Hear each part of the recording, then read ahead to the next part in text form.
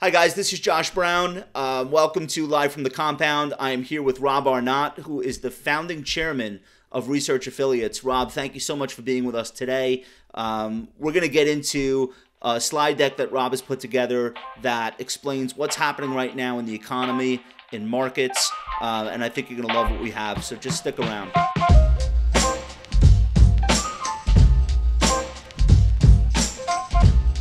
So you have a new presentation called "Recent Market Tumult and the Death of Value Investing," and uh, so, some of these slides, I, I just I, I, couldn't wait to hear um, what you had to say on them. So we are going to post these up on the YouTube channel as we go through them, um, and I'll just kind of guide you through what I'm looking at let's talk about this monthly change in payrolls graph. This is stunning, not just for the depth that that we're seeing in the monthly change in payroll, but how quickly. This 700,000 job losses was as of um, as of March 12.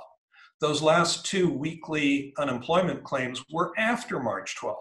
So take a look at this chart. The the monthly um, drop in payroll was almost without precedent. You had a, a, handful of months during the financial crisis. You had one month that was a big outlier, uh, almost 2 million job losses, the month that World War II ended and the US government laid off 2 million defense related workers. Now, take a look at the scale on the chart on the left, goes to minus 2 million.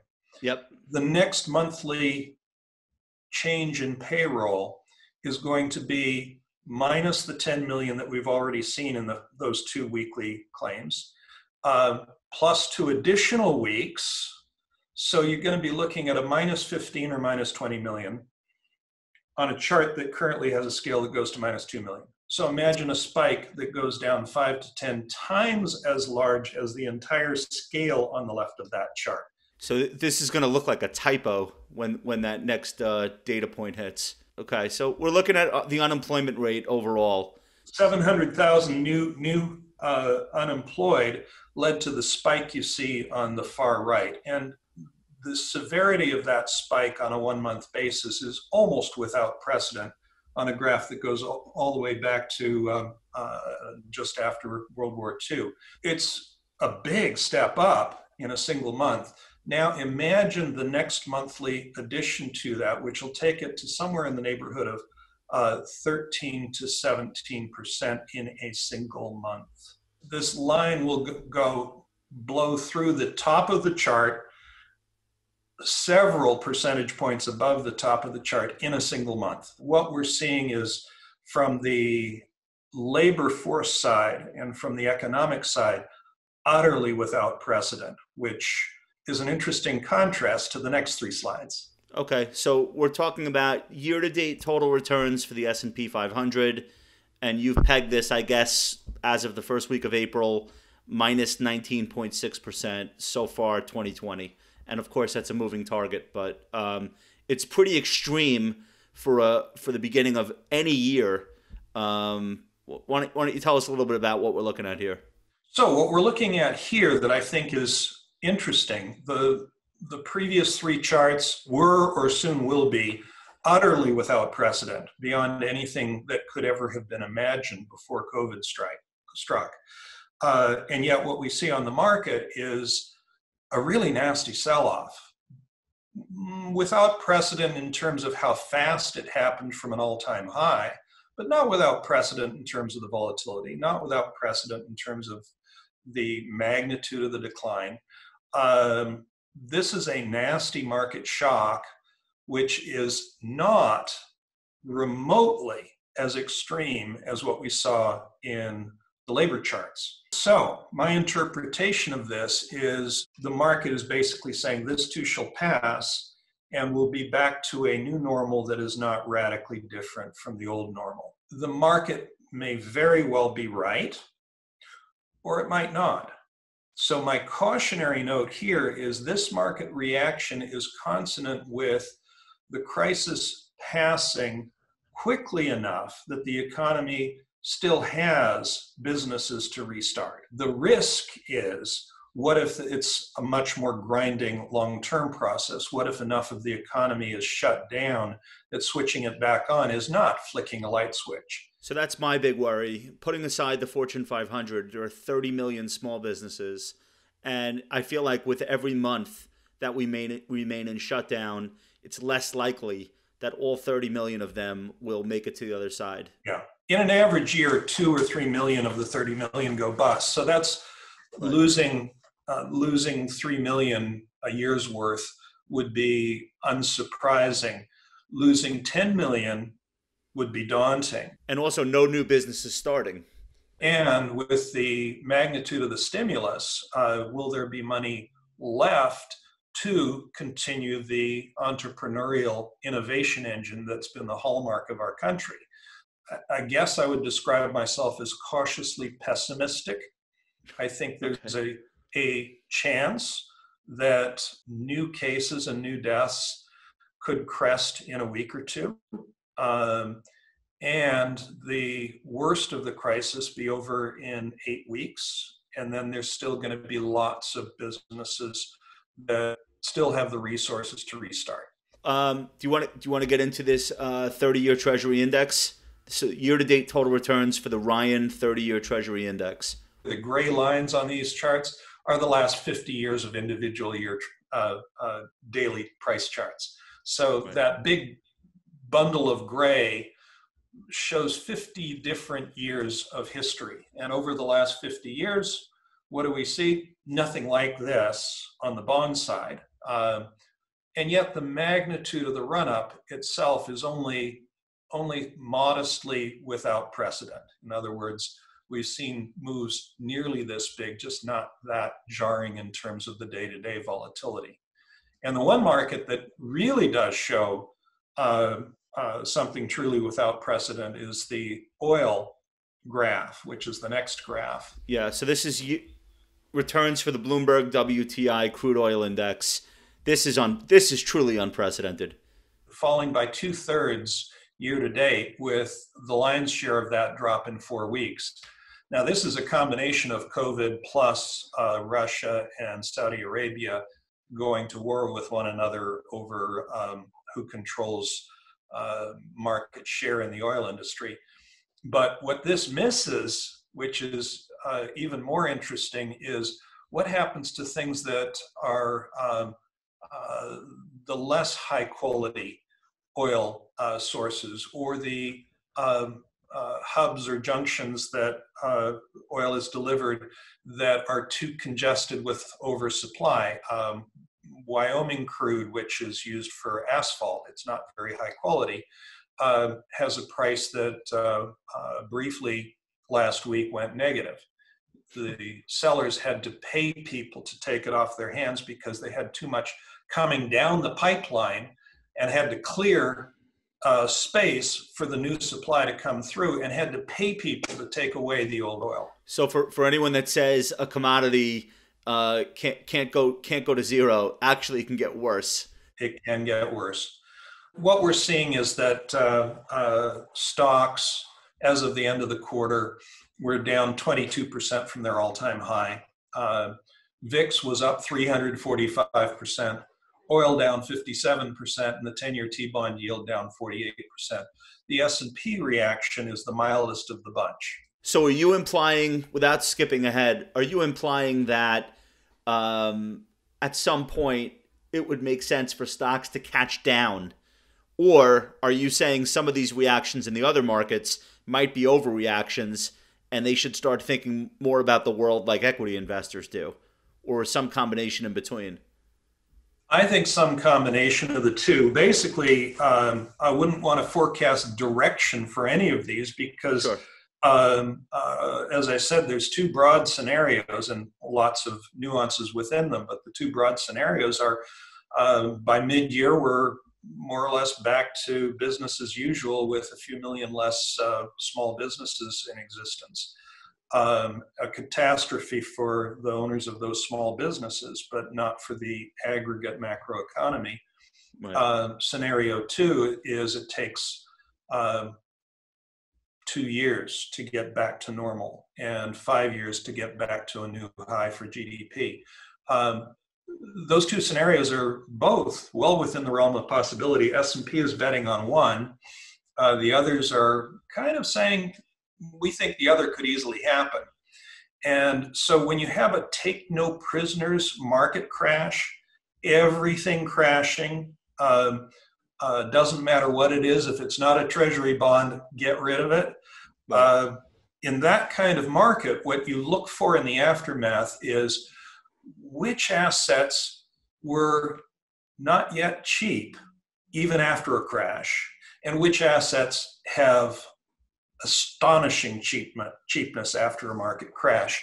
And we're seeing lots of examples. Um, US growth stocks not remotely cheap after the crash. Okay, so this is this is where you're th- you're thinking in terms of expected return. We have a an expected return, return chart next, one that okay. decomposes our return expectations for equities. Okay. Um, this is after the crash. This is as of March 31. We have a uh, an interactive website called um, Asset Allocation Interactive, which um, if you go to that website, we have 130 different asset classes. We estimate the forward-looking return my team worked massive overtime over the weekend to update it and as of monday we have everything updated through march 31 so as of march 31 where were we for us large cap using the s&p 500 as a, as a benchmark? The yield is now 2.3% is that a high yield? I don't think so. It's well high high absolutely or high relatively right? Isn't that the isn't that the game? On a relative game um, do I think stocks are priced to beat uh, treasury bonds over the next five to 10 years? Oh my goodness, yes. Do I think they're priced to offer hefty stock market returns, the likes of which people have gotten used to in the last decade? Heavens no. Historically, real growth in earnings and dividends has been about one and a quarter percent above inflation. That gets you to a three and a half percent real return over and above inflation. Inflation, our expectation over the next 10 years is 1.8. The market's expecting less than that, and uh, perhaps the market is right. But if you get that, you're looking at 5.3% return. Now, what about valuation change? So, an inflation expectation of 1.8%, how long in that scenario can bond investors um, remain without drawdowns? Because the pricing that the Treasury is implying, or, or the inflation rate that a 10 year Treasury is implying, uh, right now feels significantly less than 1.8%. Do I have that wrong? That's How exactly you... right. The, okay. the break even inflation rate uh, for the 10 year, uh, as of a couple of days ago, was about 1.1. Okay. Um, and it, it briefly dipped to um, uh, half a percent or less. So inflation expectations are very, very low at the moment. But you've got a $2 trillion stimulus. You've got negotiations for another trillion behind that, maybe two. Uh, by the time this is all over, it wouldn't shock me if we spend five trillion on stimulus in, in two quarters. Uh, how do we do that without creating some inflation? You're creating five million in new spendable money, at least hopefully spendable, because that's the whole intent of the stimulus. And you have supply and goods and services uh, ramp down sharply because of the lockdown. So if you have diminished goods and services available and more money looking to buy it, then that creates inflation. So I look on this as um, uh, a pandemic creating a deflation risk and a, um, a government reaction flipping that completely on its head and creating an inflation risk. Okay these two green bars, the real fundamental growth and the inflation, are the two biggest unknowns on okay. this chart because normally you can forecast these with some reasonable reliability. But today I would look at a on a 10 year basis, these could each be plus or minus, uh, I don't know, one and a half, two percent. Uh, per annum for 10 years. But given that variability, they still make sense to include because of how influential they would be over what returns end up being. Right. Okay. Now, the valuation change, what is that? That basically says the US stock market is at a Shiller PE ratio, price relative to 10 year smoothed earnings, of 24 times. The high was uh, 32 times uh, uh, just a couple months ago. So you've gone from 32 to 24. After the crash, it's still in the top 10% of historical experience. To get back halfway to historic norms, just halfway would be require another 20% drop. Is it in that top decile though? If we just start from 25 years ago, if we start from the age, if we start from the the, the microchip, the computer, the internet, and instantaneous worldwide communication. This is median over the last quarter century. So okay. if you mean revert towards the quarter century median, then this doesn't cost you anything, and you add up the other three, and you get a five and a half percent return. I'm not going to do cartwheels over a five and a half percent return. If the earnings fall, the Shiller PE would actually uh, be even higher, but that's not in these numbers. Well, in the 0, in the 0709 um, recession, earnings actually fell uh, 90% or 100%. It was a complete wipeout um, at one point dur- during that crisis.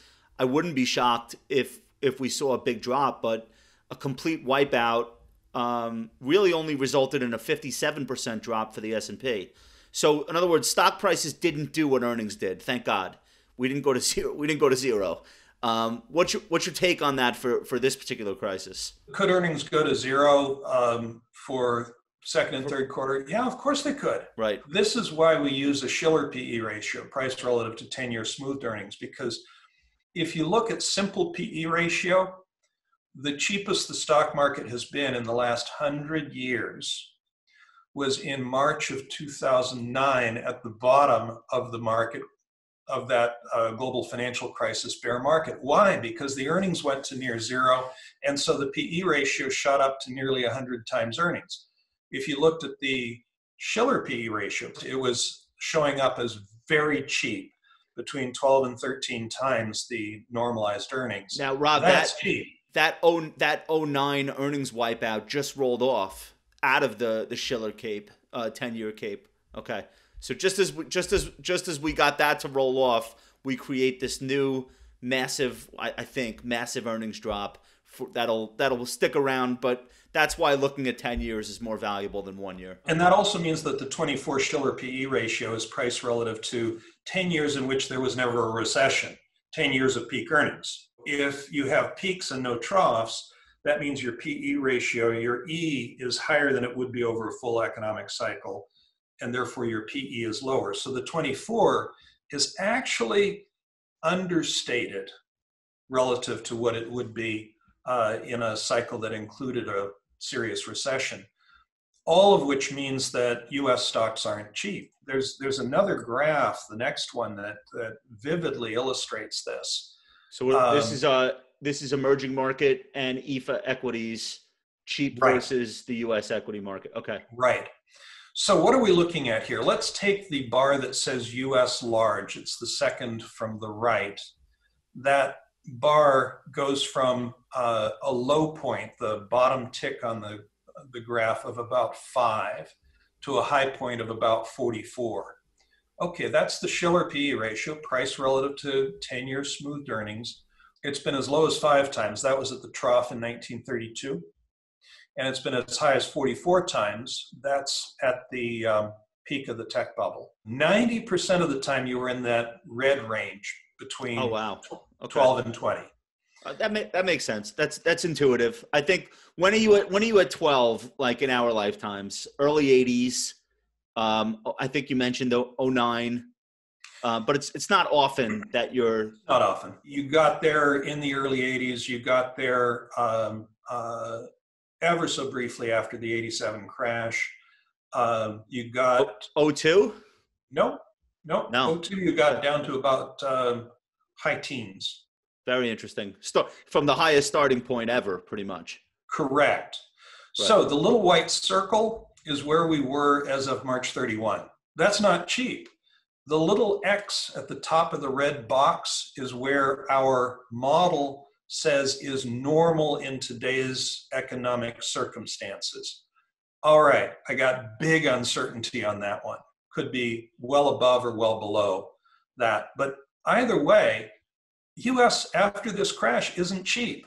The implication of that of that X though, where you said 24 is the current cape. The implication of that X is that we work our way down or some combination of maybe earnings work their way a little bit higher over the next couple of years and then stocks work their way lower on multiple. That's like a 20% contraction from here though, no? Correct. Okay. Now, EFA is priced, it's based, think of it as Europe and Japan, because that's 95% of EFA.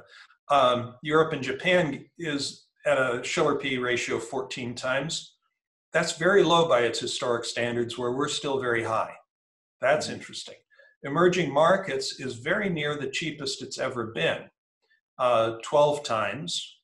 And that doesn't even get to what's going on in emerging markets value, where you're priced at about seven times.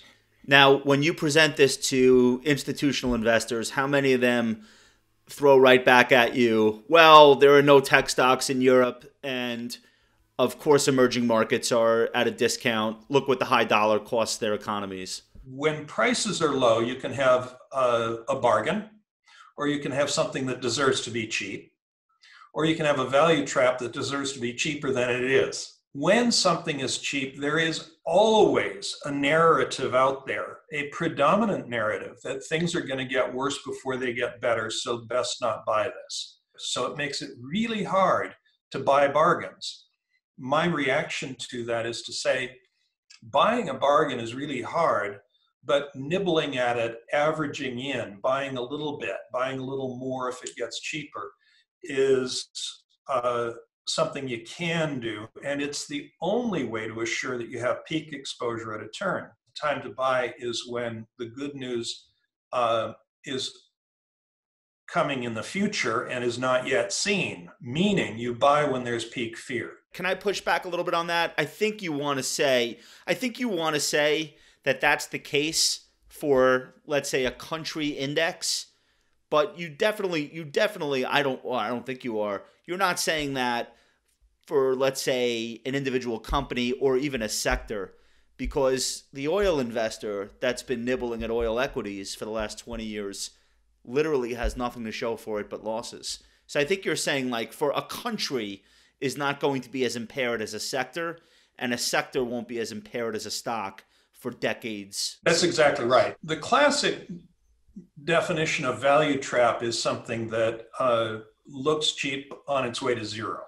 Right. That cannot happen to almost any country except if you get a total communist takeover and expropriation of all uh, financial assets in the nation. So that's what Bill Bernstein was talking about with us last week. Mm-hmm. The St. Petersburg Stock Exchange closing before yeah. World War One and just never reopening because they had a revolution. Okay, so that's and you saw the same thing happen in Egypt before uh, Gamal Nasser. You had the same thing happen uh, to the Chinese stock market in 1949. You had this, so there are examples. Right. It happens with individual companies all the time. Correct. It happens with sectors very rarely, with countries even more rarely and with aggregate world markets, never. This market crash has taken some markets to abnormally cheap levels while not taking, while leaving other markets pretty darn fully priced. Do you think part of the disparity there um, can be explained by the the amount of stimulus, like not even percentage wise as a, as a percentage of the economy, but just the sheer dollar value of the stimulus that the U.S. is doing or can do versus anyone else. Doesn't that explain a lot of that valuation difference at, at this present moment? I think that's exactly right. And then the question is A, for the US economy, how much good is the stimulus actually going to accomplish? Throwing money at a virus problem isn't nearly as effective as the East Asian economies. Uh, including all the democracies, uh, Singapore, Taiwan, uh, South Korea, Japan, they all have this under control. Yeah. And what they did is something very simple. Um, if you're outside, you have to wear a mask. If you don't, you're going to get arrested. If you're one walking into an office tower, somebody military or police is there taking temperatures remotely, call you over if you've got a fever, test you. And if you test until the test result is back, you're you're sequestered at home. If you test positive, they're going to ask who you've seen. They'll go test them. Con- mandatory uh, contact tracing. Yeah, mandatory home quarantine for anyone who has it. And within about three weeks, they knew 99% of the people in the country who had it. So that's the that's the paradox, though. Like our response, in contrast to what you just described, things are totally out of we're totally out of control, and that's why we're we're. But the reward that that the stock market gives U.S. stocks versus Singapore, for example, or Taiwan, seems to not make sense in that light. So the answer has to be the stimulus being the the difference maker. It is a big difference maker, but I'm I'm shifting focus from where we are now to forward looking. And on a forward looking basis, uh, I think, gosh, emerging markets are a lot of the emerging markets. You've got lousy healthcare, you've got supply chain disruptions, you've got tourism uh, uh, shut off entirely for probably the balance of the year. You've got demand for their products uh, falling off a cliff. How many of these emerging economies? look at these kinds of events and say, oh no, not another crisis. This is the crisis du jour. For us, this is not a crisis du jour. This is a, a once in a lifetime extraordinary event. For emerging economies, it's just another once every few years kind of uh, uh, nasty storm. The emerging economies, I think, within two to three years will be back to new highs in GDP. I'm less confident the US will get back on track that fast. So, societally, so, some of these places in Asia, they could have a, a tsunami or a, ver- a very bad flood season. We lost uh, over 10,000 people here in the US. They could lose that in like a, a natural disaster um, on a on an almost annual basis in some places. And like to your point, they're more accustomed to that sort of horrific um, occurrence than we are. And we're probably going to wind up with, I, I don't know, um, uh, 50 to 250,000 deaths, um, which is less than a tenth of a percent of the population. And disasters in emerging economies sometimes take a percent of the entire population in one fell swoop. So, right. from their perspective, this is just another nasty situation let's put it behind us and move on. For us, it's um, uh, now that we've let too many people spread this thing around, let's um, shutter the economy and then hope there's enough economy to start it back up again. And let's send out checks in uh, breathtaking quantities to try and cushion the blow for uh, those whose dreams and hopes and plans have been destroyed. I don't want to second guess um, decision makers because we, we're all we've all been dealing in new territory, unexplored territory here. But couldn't we have focused on the virus first instead of the money angle first? Uh, couldn't we have said we got to identify, we've got to isolate, and wait it out? And let's not shutter the economy as long as we get those who test positive out of the way we waited right. until it's too late for that. I think we we got to the point where before we even had the testing side figured out, we were working on stimulus. yeah, exactly right. So we're looking at value has underperformed since 2007. This is a graph of the classic Fama French value factor. What what is it? It's you buy the 30% of the market that's cheapest on price to book value you sell the 30% that's uh, most expensive on price to book value, and you look at the difference in return between those two portfolios. Okay. You change the portfolios once a year to make sure growth is always growth and value is always value. What you see is that for every dollar you invested in value, you wound up after 50 years with uh, five times as much wealth as the person who invested in growth. So value has worked.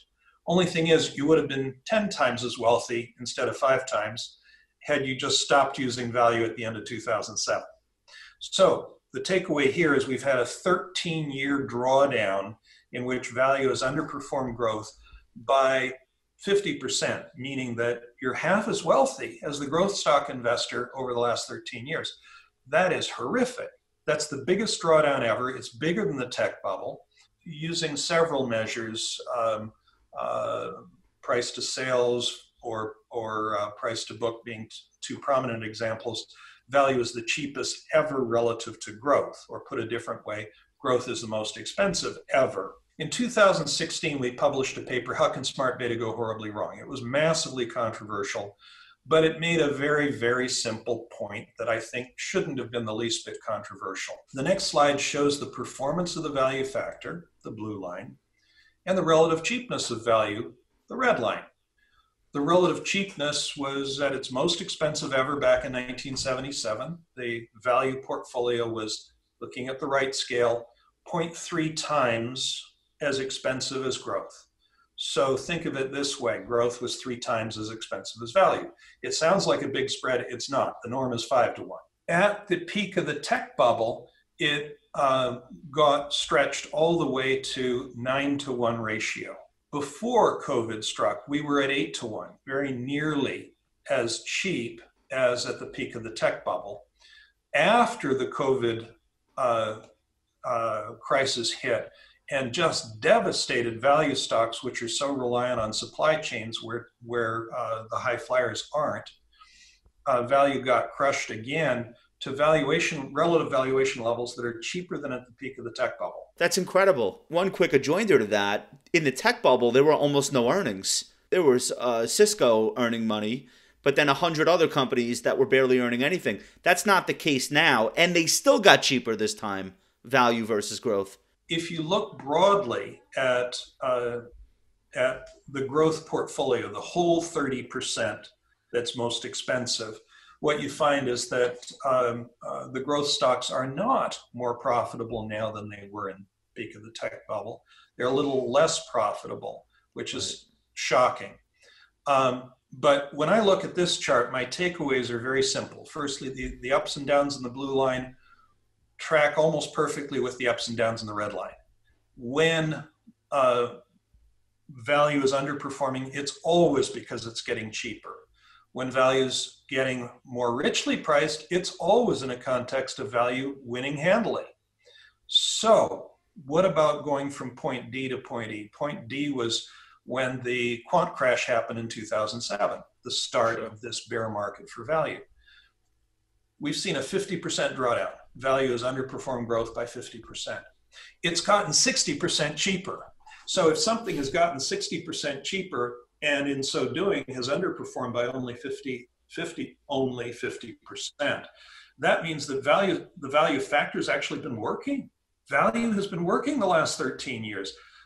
It's just gotten cheaper by a margin big enough to more than wipe out any benefit from the value effect what it means is that the um, the book value and the earnings and so forth of the value portfolio have been rising relative to the growth portfolio over the course of that 13 years.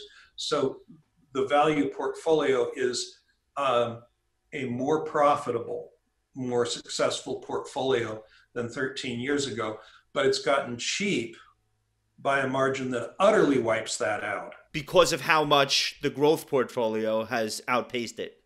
Correct. So what we see here is that value's gotten 60% cheaper. You'd think that would mean a 60% drawdown. It's a 50% drawdown. I look at this chart and I say, value isn't showing any signs of being dead. It just shows tremendous signs of being uh, an extraordinary bargain. Now, as with any extraordinary bargain, there's a narrative that says it's going to get a whole lot worse before it gets better. Look at the supply chains. Look at how these companies are getting, uh, many of these companies are not going to come back. They're, they're dead. I think that's actually more true of um, privately owned small businesses than publicly traded stocks. I think the um, uh, federal government will move heaven and earth to make sure that out of the S&P 500, you might lose five or 10 companies. You aren't going to lose 50 but out of out of 20 million small businesses 5 million of them going to go it wouldn't surprise me in the least and that's that's a huge tragedy um, by not focusing on the virus but focusing on the money uh, uh, I think we missed an opportunity uh, to actually save lives. Um, and what I mean by that is we could have saved lives by focusing on the virus earlier. We could also lose more lives in the shutdown than are lost to COVID. Suicide, depression, Suicide, alcoholism, drug abuse, Right. um, people with heart disease, lung conditions, uh, cancer, who can't get their meds because of pharmaceutical supply chain breakdowns, because they can't find a bed in the hospital, etc. So if we lose 100,000 to COVID, it wouldn't shock me in the least if we lose 200,000 to other other reasons, and that was avoidable. well was and so now we have to we have to play the hand that that we we we've been dealt since so if we are at this extreme disparity between value performance versus growth performance and we've been for a while and it gets more extreme and more extreme and more extreme and your argument is that the state of the economy will be more damaging to smaller um, businesses than publicly traded. What is the catalyst that all of a sudden makes the preference of the equity market investor care about that distinction and and start to say, you know what? I'm not I'm not impressed with a secular 12% revenue growth story. I want this 3% revenue growth story because the dividend's higher. Uh, it's deemed as safer. Like, what is the thing that makes everyone wake up and take advantage of this value? It could be something as simple as the magnitude of the cheapness, how cheap they are relative to growth. A catalyst, by definition, is something that takes most of the marketplace by surprise. I've been bearish for a while, thinking the market was very fully priced, and often would get the question what's the catalyst that's going to cause the market to break down? You wouldn't have guessed people eating bats. Um, Exactly. But I would always say, look, whatever it is, it's going to be a surprise to most of the market. And sure Right. enough, it was the ultimate black swan, um, COVID. Uh, so, what could cause value stocks to turn up relative to growth?